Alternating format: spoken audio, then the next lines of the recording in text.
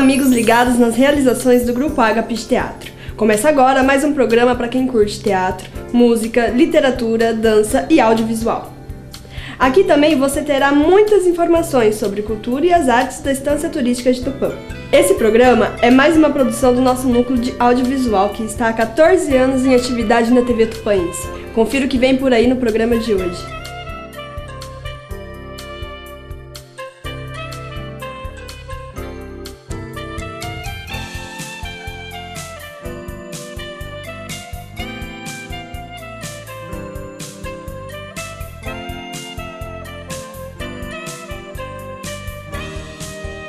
Assista agora ao quadro Bela Vida, uma parceria do Grupo Agapes Teatro e a TV Mundo Maior de Guarulhos.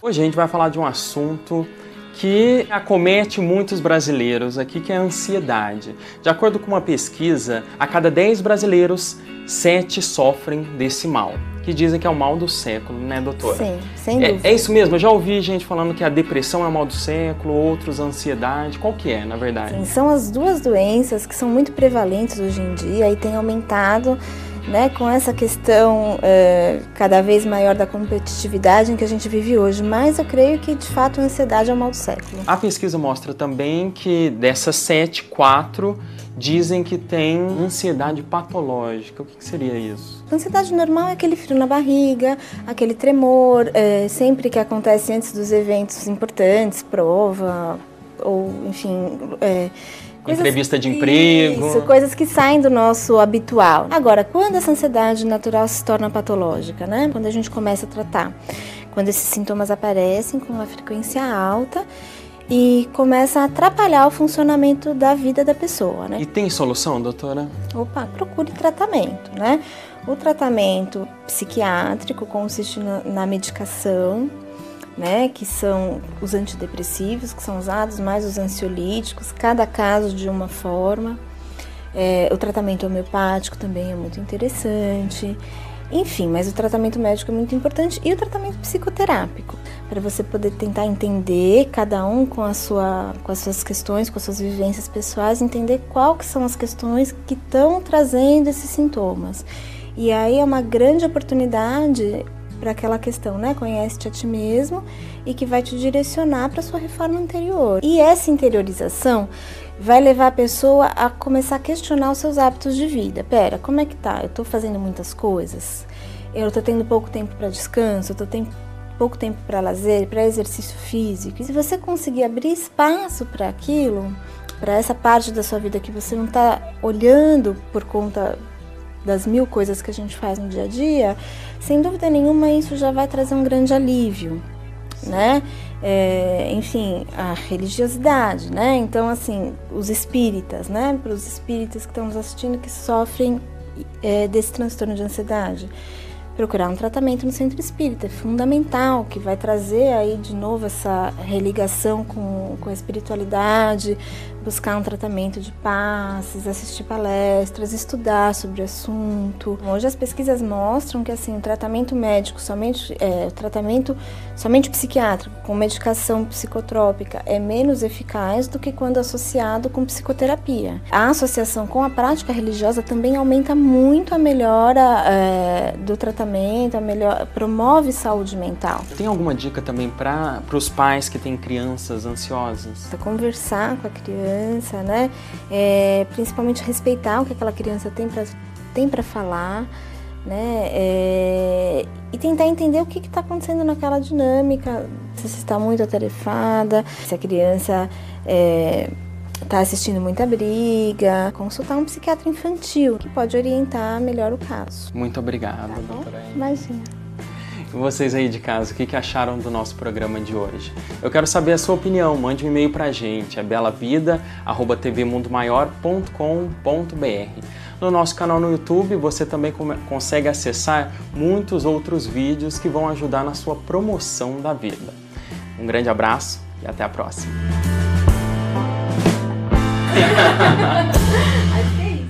E se fosse possível conquistar novamente aqueles que se foram? Juntos nós podemos. Invista neste canal. Invista em um mundo melhor.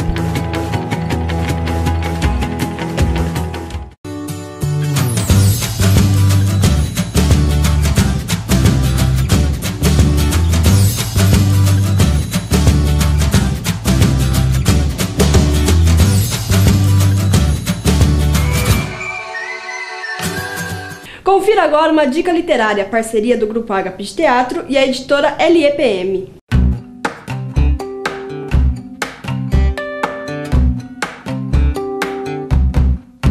Sem querer cair.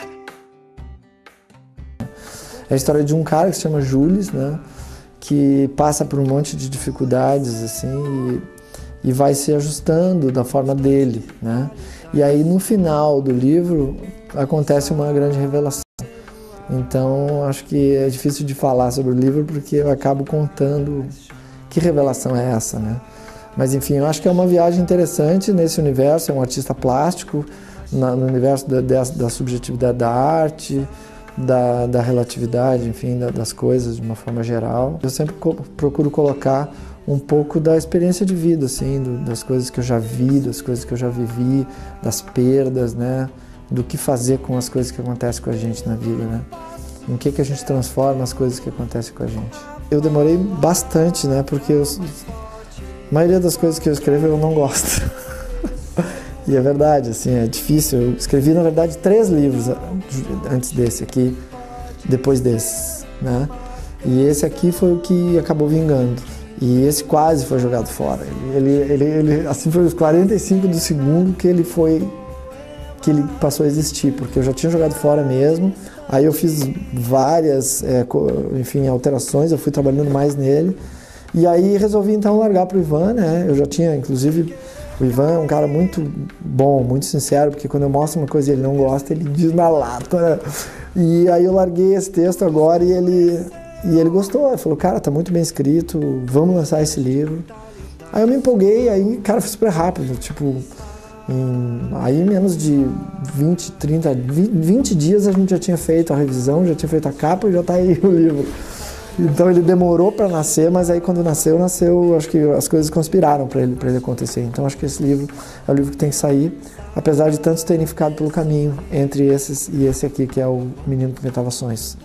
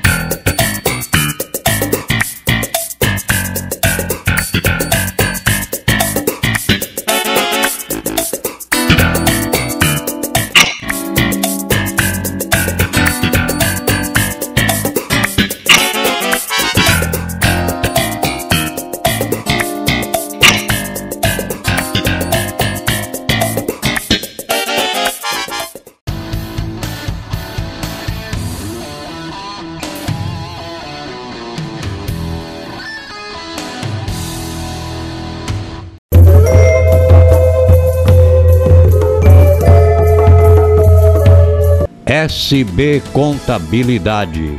Profissionais com larga experiência na área, prestando serviços de escrita fiscal, departamento pessoal, expediente em geral, contabilidade e assuntos fiscais. SB Contabilidade. Rua Coroados 85, telefone 14 3491 4452. SB Contabilidade sempre ajudando a contabilizar o futuro de nossos clientes. Connect System. Lan House.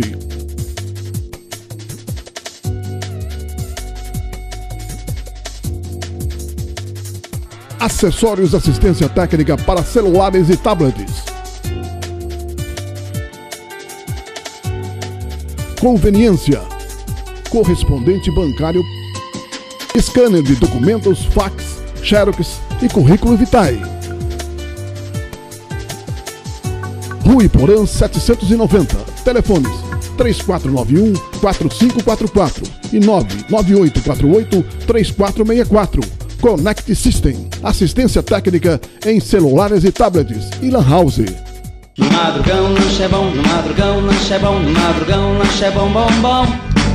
Madrugão lanche é bom, no madrugão lanche é bom, no madrugão lanche é bom, bom, bom. Madrugão lanche é bom, no madrugão lanche é bom, bom, bom. Avenida dos Universitários 65, Tupã. Disque Lanche 3491 1272 3491 1272 3491 1272 Madrugão lanche é bom, no madrugão lanche é bom, bom, bom. Yeah!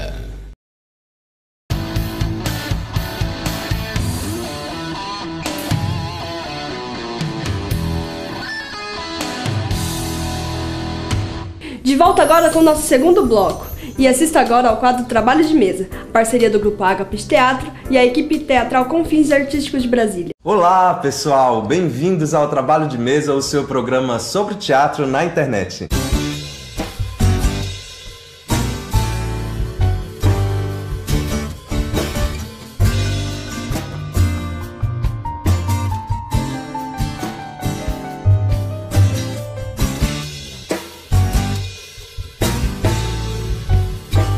Esse programa é apresentado pelo FAC, o Fundo de Apoio à Cultura do Distrito Federal, e apoiado pelo MINC, o Ministério da Cultura. E esse programa também é apoiado pelo podcast Dragões de Garagem. Estamos nessa terceira temporada maravilhosa e cheia de novidades do nosso querido trabalho de mesa. E você pode acompanhar a gente agora em áudio também, através do podcast lá no portal do Dragões de Garagem. O link tá na descrição, segue a gente lá também. E hoje a gente vai falar do que, Samuel? A gente vai falar de oficinas como forma. Eh, Peraí, peraí. Como formação continuada para os atores. Para quem não sabe ligeiramente o que é uma oficina, são cursos pontuais de curta duração e normalmente são oferecidas em festivais por grupos que têm como contrapartida de editais públicos a realização de oficinas e de artistas independentes também que querem trabalhar na formação do ator. A gente já tem um vídeo que aborda esse assunto na nossa primeira temporada. Se vocês quiserem, cliquem aqui que a gente vai dar uma leve conversada sobre essa questão. A oficina em si é uma coisa muito bacana que acontece em festivais, que acontecem quando algum artista vem pra cidade apresentar um espetáculo. É muito legal também porque nessas oficinas a gente tem a oportunidade de trocar com atores que não necessariamente estão no mesmo nicho que a gente. E isso é uma oportunidade muito legal porque normalmente ou são oficinas que têm um valor muito baixo ou então são gratuitas. E às vezes as pessoas negligenciam um pouco esse tipo de formação que pode também ser tão importante, né? É uma experiência importantíssima de troca com artistas que você normalmente não teria. São artistas que vêm de outros estados, de outros países. Essa troca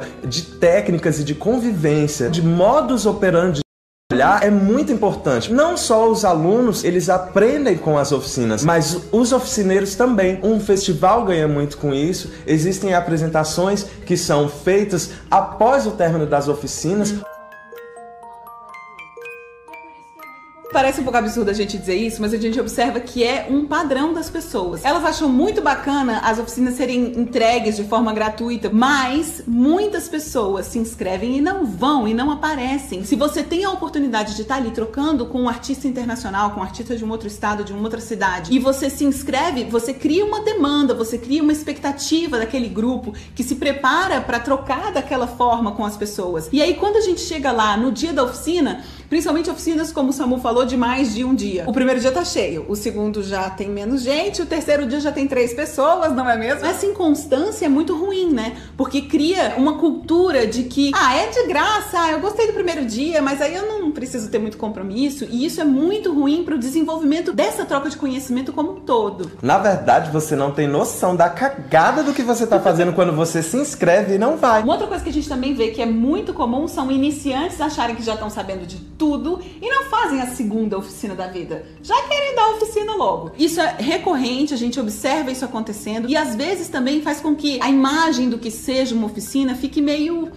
É, fica meio que, gente? Fica um pouco deturpada, porque fica parecendo que, ah, é uma oficina, é uma troca meio assim com alguém que não sabe muito bem. É não de um é aí. iniciante para iniciante, É, né? não, não é essa a Não ideia. é essa a ideia. Iniciantes, parem de achar que porque vocês fizeram uma oficina, vocês podem ministrar aquele conteúdo. Saber fazer alguma coisa ou aprender a fazer alguma coisa é completamente diferente de ensinar aquilo. E isso é muito ruim, porque gera uma ideia de que uma coisa é professor, outra coisa é oficineiro. E pode ser bom, a troca pode ser boa e rica, independente dessa pessoa ter uma formação acadêmica como professor ou não. Isso pode ser enriquecedor, desde que você saiba exatamente aquilo que você está fazendo e você saiba transmitir aquele conhecimento. O que acontece muitas vezes é que as pessoas, e principalmente os atores, não entendem esse curso pontual, essa troca de experiência, como uma complementação de sua formação. Na verdade, a gente sabe que hoje a gente não precisa nem de um diploma. Para ser ator, para ser artista, você não precisa de um diploma. Mas você precisa entender que a formação, a construção do conhecimento sobre técnicas de interpretação, técnicas de atuação, de canto, de dança, são importantíssimas e é um processo contínuo na carreira do ator. Enquanto os atores não entenderem que essas trocas de experiências fazem parte da sua formação e do seu trabalho, continuaremos tendo atores medíocres. E é essa mesma lógica de raciocínio que faz com que um aluno, depois de uma aula, se torne um oficineiro.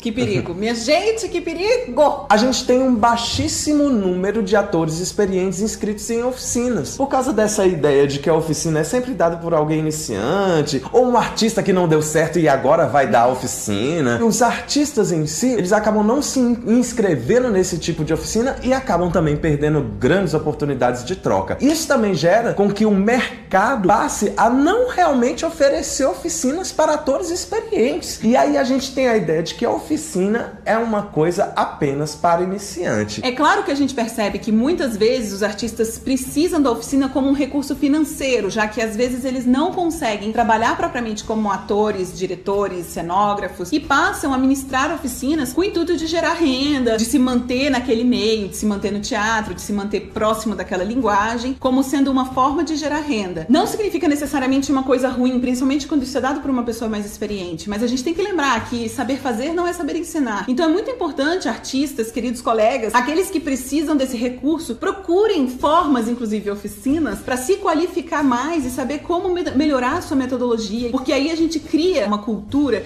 que tenha oficinas melhores sendo oferecidas e também pessoas engajadas a participar de oficinas como uma forma continuada de formação. E as oficinas também como um produto rentável Sim. para as pessoas que estão dando oficina. Aqui em Brasília, por exemplo, tem um festival de teatro cena contemporânea que oferece não só oficinas para os atores, mas de toda a parte técnica do fazer teatral. O Festival de Cinema de Brasília, que é um dos festivais mais conhecidos de cinema do país, né, tem oficinas de dramaturgia, tem oficinas de crítica, que são coisas que não necessariamente faz parte do seu fazer na arte que você executa, sendo ator ou diretor, mas também é uma forma de você ter uma noção do todo daquilo que você pratica, sem necessariamente você precisar se especializar em alguma coisa. Nós dois, por exemplo, que temos uma formação em interpretação teatral, a gente não necessariamente precisa saber tudo sobre cenografia, tudo sobre iluminação, mas saber um pouco como esse profissional trabalha faz toda a diferença quando a gente tá aqui trabalhando como atores. Inclusive, a gente já falou disso num outro vídeo sobre essa importância do ator saber, para além do fazer da atuação propriamente, conhecer um pouco mais dos outros aspectos do fazer teatral. Então, se você acha que você não precisa de um curso de inglês, que você não precisa de um francês, de uma aula de dança, de uma escola de piano, você está certo, você realmente não precisa. Mas todas essas experiências vão fazer uma diferença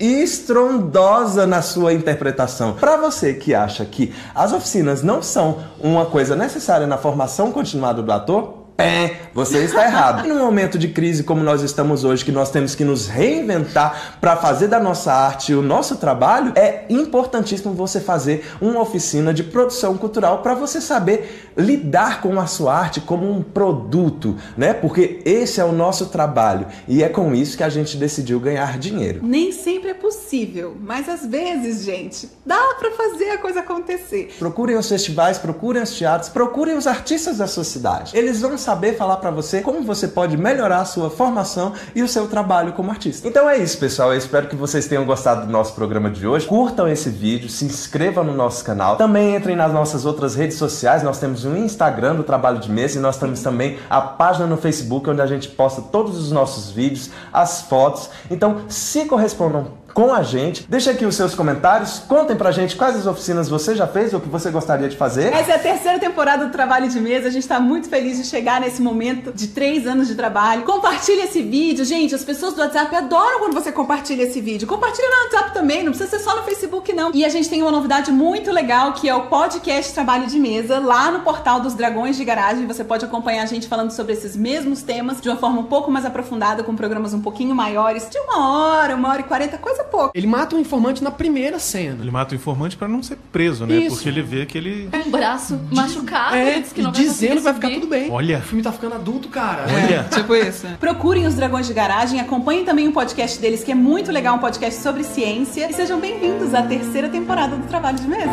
É isso, pessoal. Tchau.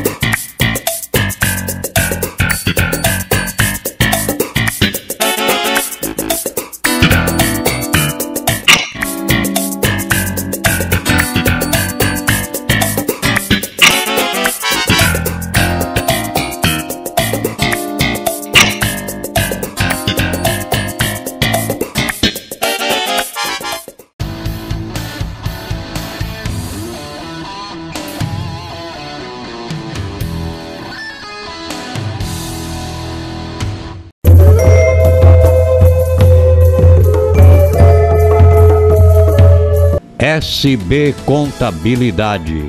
Profissionais com larga experiência na área, prestando serviços de escrita fiscal, departamento pessoal, expediente em geral, contabilidade e assuntos fiscais. SB Contabilidade. Rua Coroados 85, telefone 14 3491 4452. SB Contabilidade sempre ajudando a contabilizar o futuro de nossos clientes. Connect System. Lan House.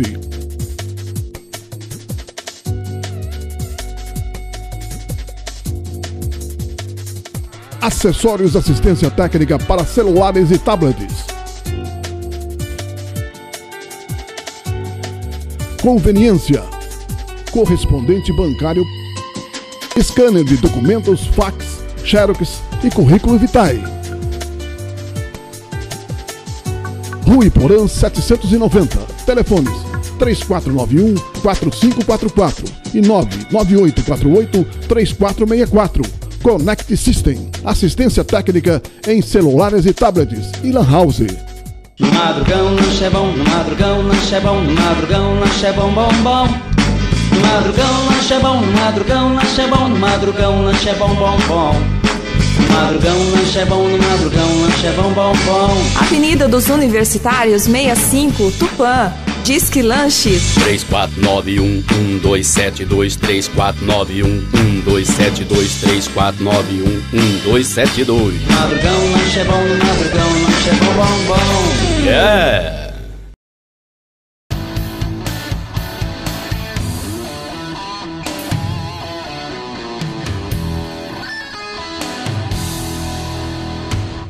De volta agora com o nosso terceiro bloco. Assista agora ao quadro Evolucine, mais uma parceria do Grupo Agapes Teatro e a TV Mundo Maior de Guarulhos.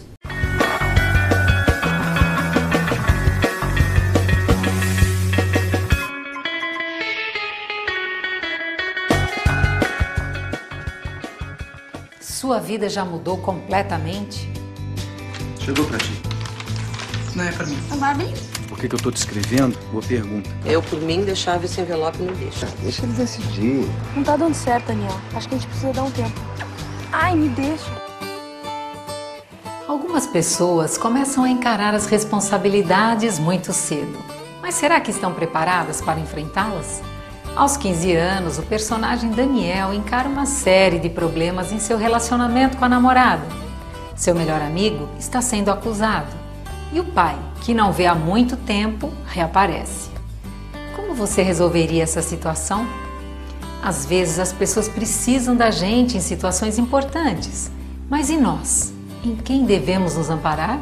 Eu fico aqui pensando, como será que você é? Quem será o seu melhor amigo? Vocês já comeram vento?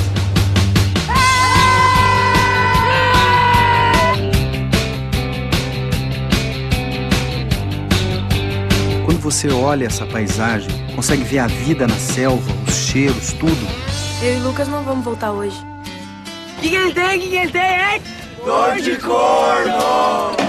Mãe, olha só, vem pra casa, o Daniel tá morrendo. Num dia eu tava apaixonada, cheia de planos. E no outro eu tava sozinha, com um filho na barriga. Eu não te abandonei, Daniel. O que eu fiz foi uma escolha. Eu queria fotografar coisas inesquecíveis. As mudanças são necessárias e importantes para o nosso crescimento pessoal, mas devem estar em sintonia com o nosso modo de vida. Para cuidar de outras pessoas, é preciso cuidar primeiro de você, de suas emoções, de sua mente. É de você que virão as ideias e as soluções de que precisa nas fases mais complicadas. Como podemos ajudar as pessoas que fazem parte de nossas vidas? Será que nossos relacionamentos têm a compreensão necessária? Pense nisso. Chega ao fim mais um programa e você já sabe. Para deixar seu comentário para gente, basta enviar um e-mail para evolucine@tvmundomaior.com.br. E nós temos um encontro semana que vem. Até lá. Assista agora um curta-metragem da parceria do Grupo Agapes Teatro e a Associação Cultural Quinofórum de São Paulo.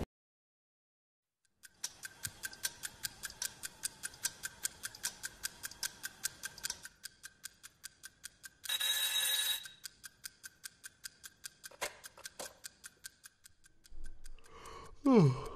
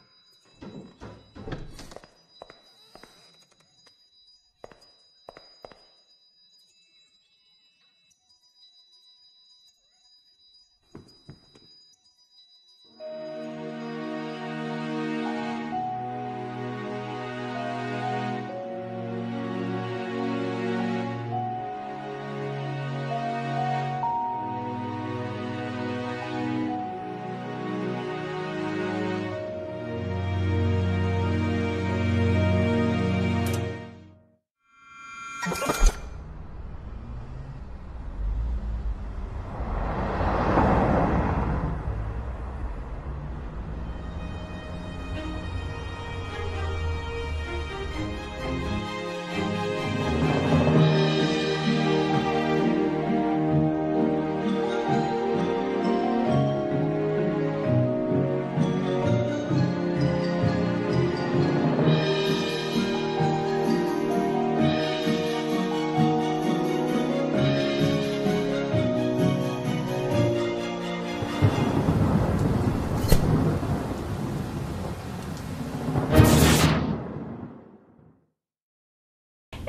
assim o programa de hoje. Lembrando que esse programa é para quem curte teatro, música, literatura, dança e audiovisual. Aqui também você terá muitas informações sobre a cultura e as artes da Estância Turística de Tupã.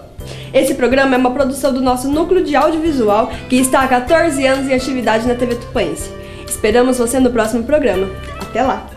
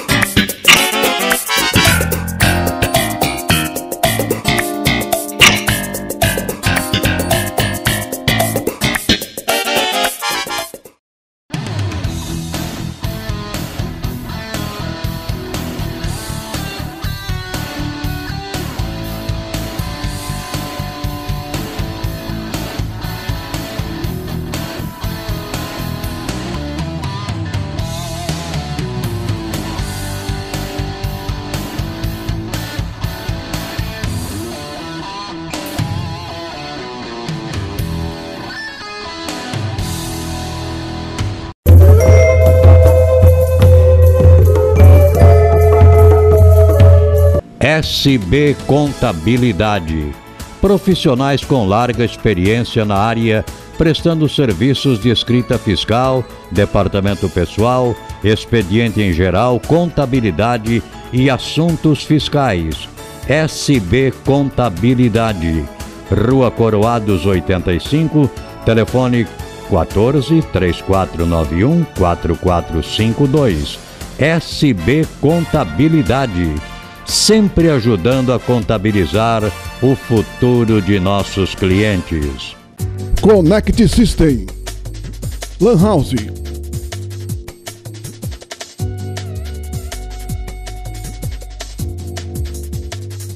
Acessórios assistência técnica para celulares e tablets. Conveniência. Correspondente bancário scanner de documentos, fax, xerox e currículo vitae. Rui Porã 790. Telefones 3491 4544 e 99848 3464. Connect System. Assistência técnica em celulares e tablets e lan house.